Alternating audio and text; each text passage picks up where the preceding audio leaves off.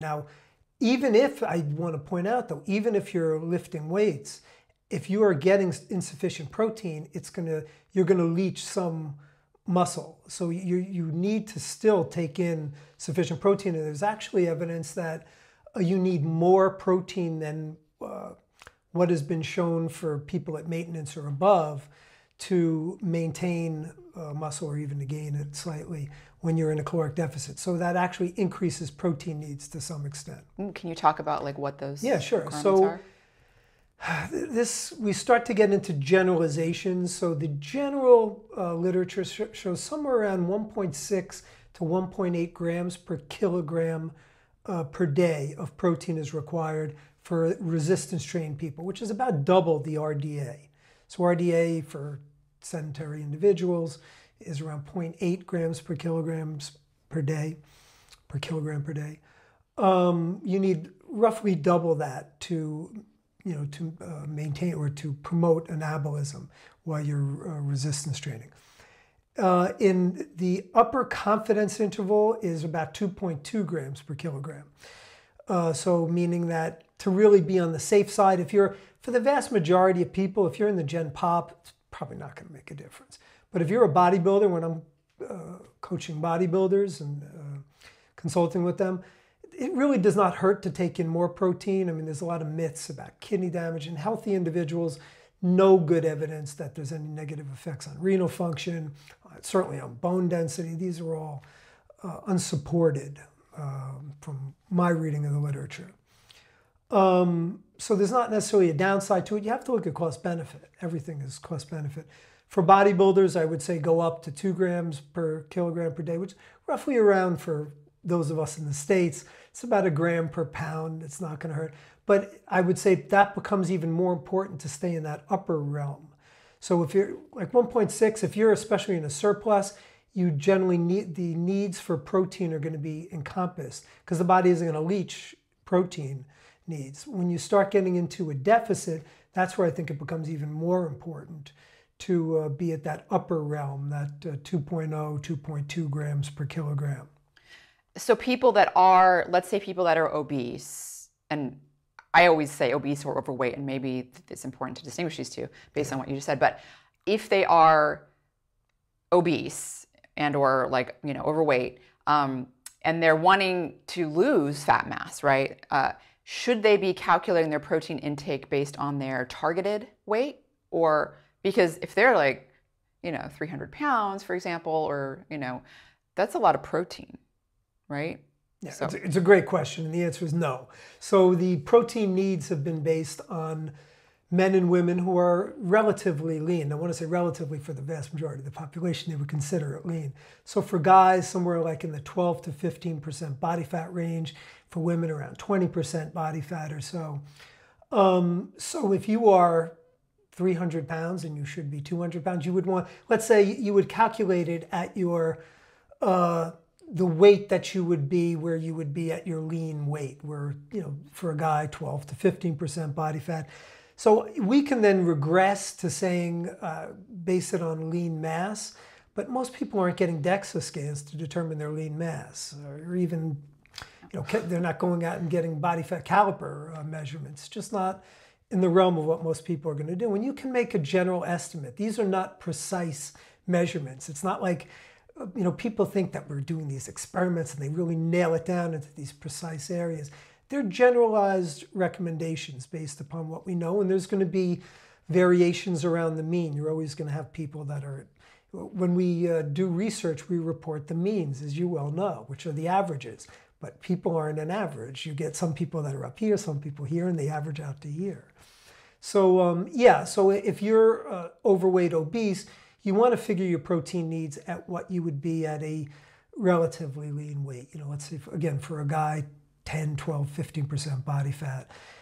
I will say this, it doesn't hurt to take in, like I said, a little extra protein. It's, on the good side, uh, protein is very difficult to store as body fat, much more difficult than uh, carbohydrates and fat. So it's um, if you're going to err on the side of uh, caution, that's where you'd want to err on the side of increase, you know, taking in a little more protein at the expense, if your goal is weight loss, at the expense of carbs and fat. Right. Um, now we had um, Stuart Phillips on the podcast, a, a colleague of yours, and um, he was talking about with the with the protein requirements, like the buy-in being more like, you know, just to get like at least 1.2 grams of uh, protein per, per kilogram body weight. And for me, I was like, okay, because that that that's what I'm going to try to aim for. But then as I started to become more, um, do more resistance training, I realized I was meeting the buy in, but I wasn't meeting the 1.6. And so I have to now increase, like a can of sardines will get me there. Like I need about 16 to 20 more grams a day. Um, so you know, for for people like I'm like my dad, for example, he's in his 70s and um, like getting good luck getting him to 1.6 like i'm trying to get him to 1.2 right i'm trying to like prevent him from like just you know completely depleting his you know his amino acids from his from his muscle every day which he's kind of doing.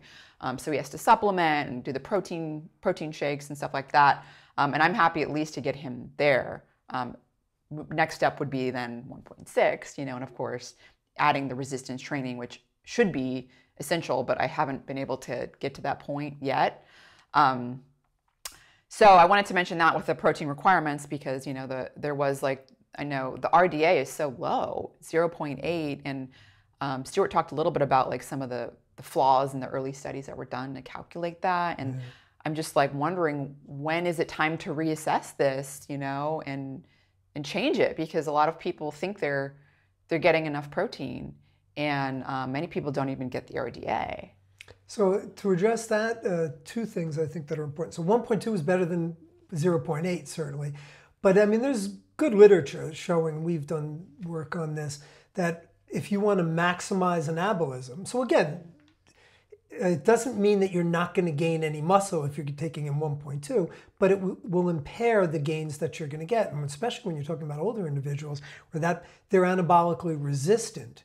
Uh, so it becomes even more important. And I think this is another important thing when you're dealing with older individuals, the resistance, uh, not only anabolic resistance to resistance training, but also to protein, where the per dose uh, aspects need to be higher to some extent to get what's called leucine, which is one of the essential amino acids. And there's, I don't know how deep you want to get here, yeah. but there's a leucine threshold. Leucine is the amino acid that seems to kickstart the muscle growth process.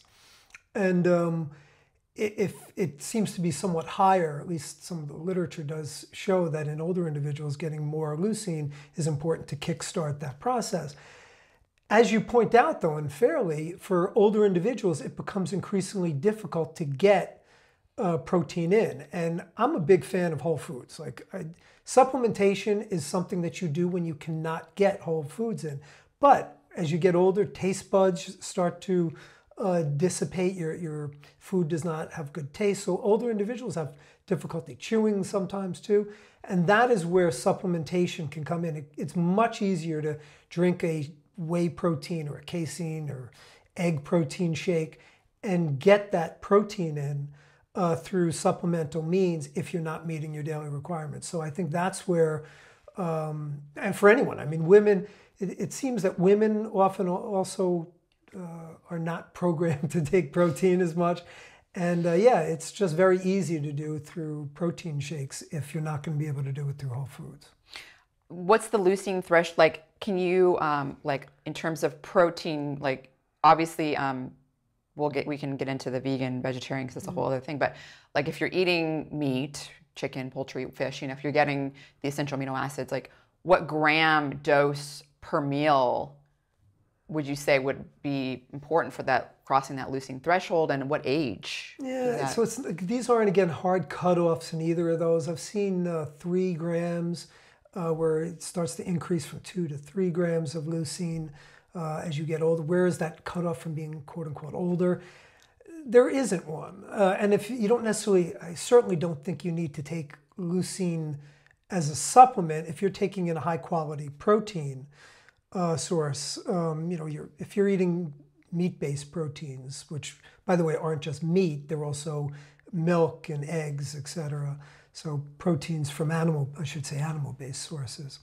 Um, you're going to be getting quality proteins that are rich in, in leucine. And uh, again, it's just getting the proper dosages in, which might be, it's been shown there is a graded. Um, there's a recent study out of uh, van Loon's lab, who's a terrific researcher, protein researcher in the Netherlands, and uh, they looked at again my memory now. It's been a while since I looked at this study, but it was they did zero, 15 grams of protein. I believe they used whey, uh, 30 and 45, I think it was. But anyway, it showed a dose response relationship for muscle protein synthesis where they kept getting a greater response. Now, it did seem to somewhat cur- the uh, curve wasn't it wasn't a linear uh, relationship, so there was you know more parabolic where it started to uh, trail off after 30 grams, but it did continue on above the 30 grams. So uh, it just shows that in older individuals that uh, it's needed to take more per dose protein to hit that leucine threshold, particularly in the time after resistance training. I mean, yeah, that's talking about a dose that you're you're you're going to have in your animal products, but then you're also probably going to have a protein shake with it because it's quite. I mean, I guess unless you can eat large, large, large steaks and stuff, but um, for me, I know as a female too. Um, Well, I- f- I I, mean, won't be four getting- ounces of chicken is 30 grams of protein Is it or so. So yeah, I mean, it's four. You know, if you get I eat four ounces of chicken. yeah, That's, so it's pretty good.